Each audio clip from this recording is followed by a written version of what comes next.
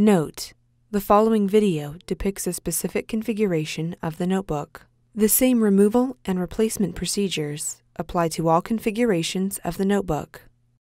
Before you begin, remove the base enclosure, battery, and heatsink assembly. Removal. Using minimal force, lift the locking bar up on the power button board ZIF connector and disconnect the power button board ribbon cable from the system board.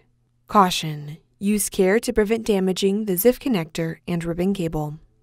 Remove the power button board ribbon cable from the adhesive that secures it to the top cover. Remove the 2.5mm P1 Phillips head screw that secures the power button board to the top cover. Lift the power button board off of the alignment pins on the top cover. Place the power button board into a static dissipative bag. Replacement Remove the power button board from the static dissipative bag. Place the power button board onto the alignment pins on the top cover.